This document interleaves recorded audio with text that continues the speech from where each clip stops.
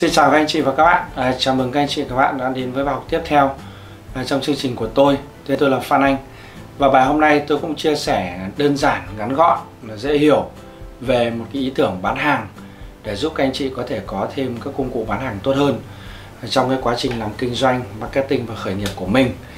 Đó tôi gọi nó là bán hàng tại hội thảo.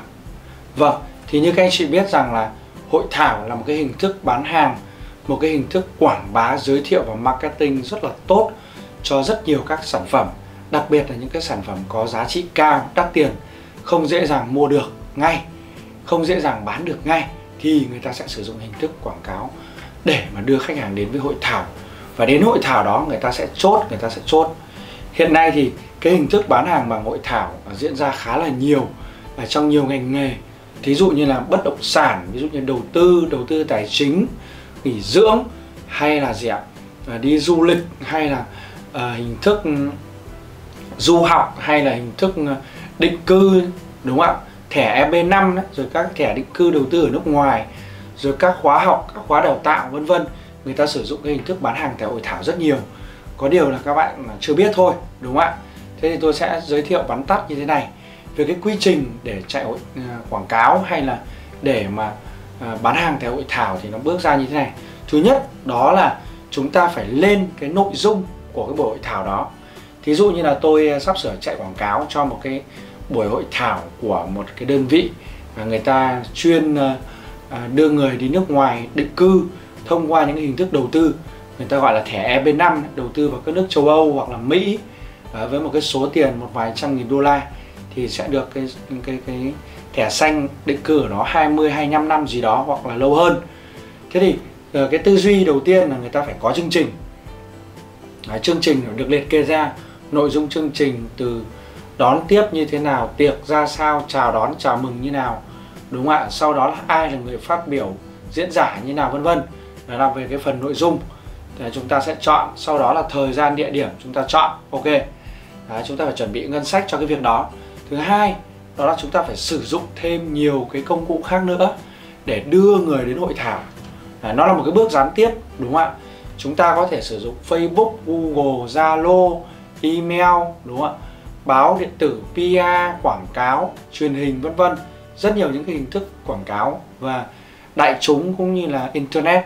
Thì để cho khách hàng biết đến và có một cái hội thảo như vậy để họ đến hội thảo họ lắng nghe, họ xem xét, đúng không ạ? Và sau đó thì trong cái quá trình mình hội thảo, đó chính là một cái quá trình mình giới thiệu về sản phẩm, giới thiệu về dịch vụ, những cái đặc điểm, những cái sự khác biệt của chính chúng ta. Và chúng ta sẽ làm được những cái việc là thuyết phục khách hàng, cho khách hàng thấy cái nhu cầu, gợi mở nhu cầu, cho khách hàng thấy được những cái điều tốt đẹp, những cái điều hay ho trong cái quá trình cung cấp sản phẩm và dịch vụ của chúng ta và từ biết cho đến nảy sinh nhu cầu và họ rất có thể sẽ chuyển đổi thành người mua. Đó thì đấy là một cái quy trình mà tôi sẽ làm cho họ. À, đúng không ạ? Thế tất nhiên là trong cái quá trình làm như vậy thì các bạn vẫn phải sử dụng các cái công cụ online marketing hoặc là các công cụ truyền thông khác như truyền hình như báo chí. Đó thì chúng ta sẽ phải kết hợp thêm vào. Nhưng tại sao tôi tách nó ra thành là bán hàng tại hội thảo? Là bởi vì như tôi nói đấy là cái việc chốt đơn bán hàng nó diễn ra trong hội thảo. Người ta đến đấy người ta đăng ký thế thì mình mới lấy số điện thoại lấy email lấy facebook của họ mình gọi điện cho họ đến. Và sau đó mình à, bán hàng tức là mình trình bày tất cả mọi thứ. Mình thuyết phục mình tư vấn cho khách hàng tại cái hội thảo đó ok? Và sau đó thì mình tiếp tục là mình làm gì nữa ạ? Sau đó là mình tiếp tục là mình à, lại tư vấn trực tiếp và mình lại tiếp tục remarketing cho khách hàng thông qua telesale thông qua sms thông qua tư vấn trực tiếp thông qua email thông qua facebook hoặc là những cái lần gặp gỡ riêng, hội thảo riêng tiếp theo cho những cái khách hàng họ thực sự quan tâm. Thì đấy là cái hình thức bán hàng bằng hội thảo mà tôi muốn chia sẻ với các anh chị và các bạn.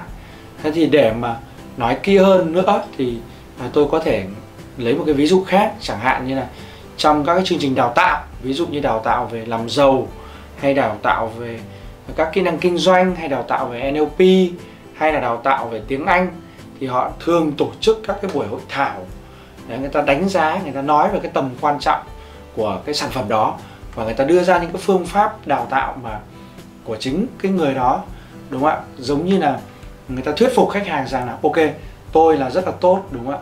Và cái tỷ lệ khách hàng thường chuyển đổi thành à, người học hay là thành khách hàng đó à, người mua hàng thực tế đó thì à, có thể lên tới là từ 3 5 hoặc là 10 20 phần trăm tùy vào sản phẩm và dịch vụ cũng như là tùy vào cách tổ chức của người bán hàng có đúng không ạ?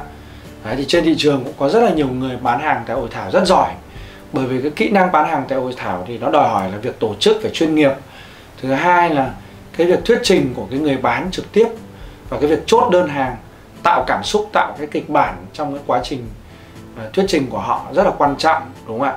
Từ cái việc là phòng ốc được bố trí như thế nào giấy tờ phục vụ ra sao nước nôi à, tiệc trà trao đổi âm thanh ánh sáng kịch bản Đấy, và kể cả có những quân xanh công quân đỏ trong cái quá trình bán hàng à, tại hội thảo.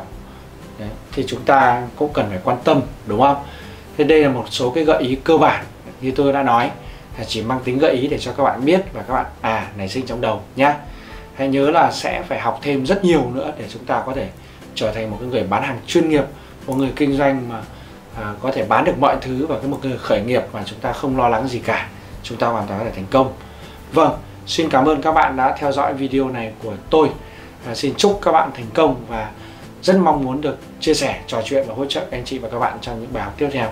Xin cảm ơn và xin hẹn gặp lại.